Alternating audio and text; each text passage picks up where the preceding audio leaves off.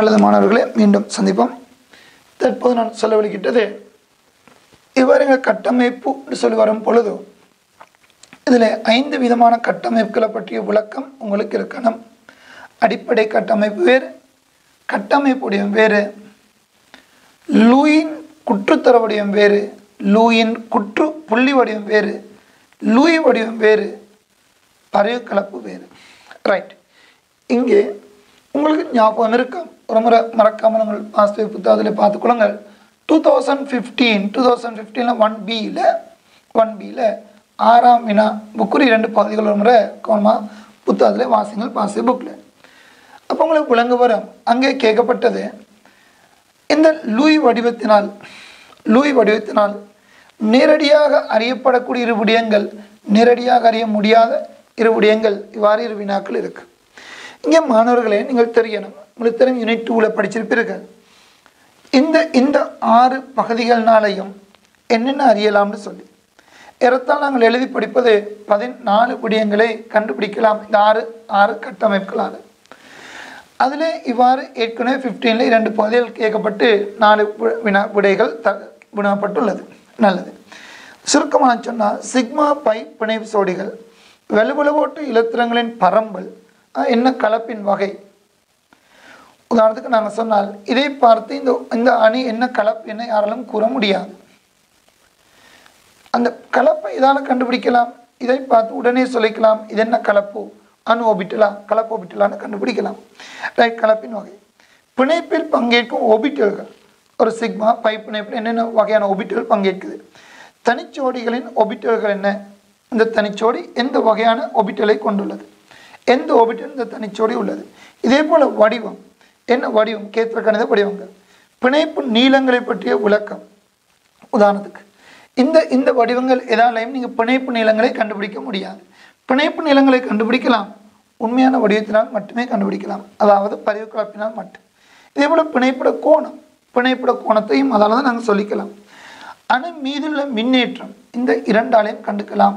அதற்கான சமன்பாடு தான் இப்போ ஆரம்பிக்கப்பட்ட வினா. இவ்வாறு வெலுவளவு வெலுவளவு அச்சியற்றேன்.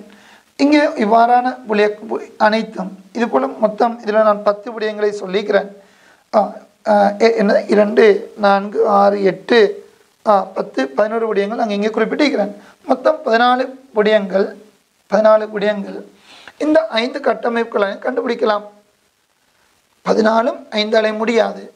என் அடிப்படை கட்டமைப்பால் என்னென்ன விடயங்களை கண்டுக்கலாம்? நேரடியாக மறைமுகமாக.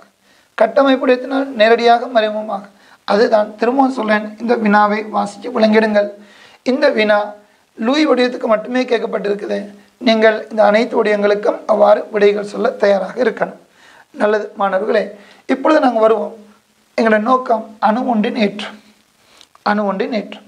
அணு ஒன்றின் ஏற்றம்னு சொல்லி வரும் பொழுது அணு மீதுள்ள மின்னேற்றம்னு வரும் பொழுது இவ்வாறு நான் சொல்ல வந்தது நேரடியாகவும் துணியலாம் சமன்பாடுகளாலையும் துணியலாம்னு சொல்லி. ரைட் இதான் இந்த வினா. இதுக்குரிய சான்பாடு என்ன? அதான் உங்களோட வினா. ரைட் நான் அதனை இவ்வாறு சொல்லிக்கிட்டு போகிறேன் ஆனால் இந்த இந்த ஆக்சிஜன்லேயும் நான் கலைக்க போகிறேன் இந்த இரண்டையும் எடுத்து நான் கதைக்கிறேன் இதான் எங்களோட அணுக்கள். அச்சியேட்டன் வலுவலம் உங்களுக்கு தெரியும் இந்த இந்த கட்டமைப்பை பார்த்து அதாவது அடிப்படை என்ன?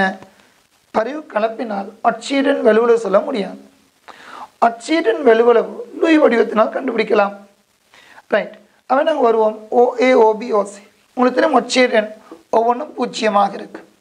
ஆனால் வலுவலவு இரண்டு நாலு இரண்டு. கண்டுக்கலாம். சரி. இப்போ உங்களுக்கு தேவை அணு மீதுள்ள மின்னேற்றம். எவ்வாறு? நேரடியாக துணியலாம் என்பது. எவ்வாறு? நேரடியாக துணியலாம் என்பது. ரைட் அணு மீதுள்ள நீர் மின்னேற்றம் நேரடியாக துணியப்படும் போது. இங்கே நாங்கள் வருவோம். இந்த லூய் வடிவத்தில் லூய் வடிவத்தில் ஓ ஏ மீதுள்ள ஏற்றம் பூஜ்ஜியம் ஓபியும் பி மீது ப்ளஸ் ஒன் ஓ சி மீது மைனஸ் ஒன் உண்மையில் ஏற்றங்கள் பின்னால் குறிப்பிடப்படணும். நல்லது.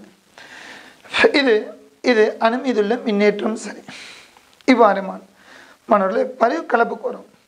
பரிவு கலப்பில் அணு மீதுள்ள ஏற்றம் துணியும் பொழுது ஓ ஏ மைனஸ் அரை ஓபி ஆ ப்ளஸ் ஒன் அவ்வாறு ஆ மைனஸ் அரை இவ்வாறு உங்களுக்கு அணு மீதுள்ள ஏற்றங்களை பரிவு கலப்புன்னு கண்டுபிடிக்கலாம். லூயிலிருந்து சொல்லிக்கலாம். சரி இதை நான் திரும்ப சொன்னது நேரடியாக எவ்வாறு அணுமீதுள்ள எடுத்து துணிவது? சரி இதில் நான் உங்களுக்கு விரிவாக கதைக்க எத்தனை கிலோ முக்கியம்? நேரம்.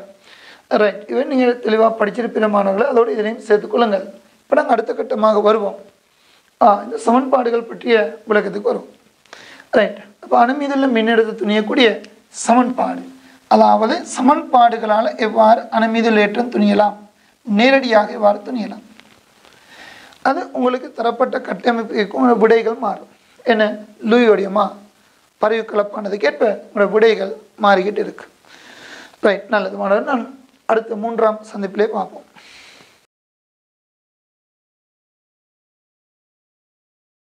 You can get all toots of Mr. Imar Fayoum from our website www.longketo.org.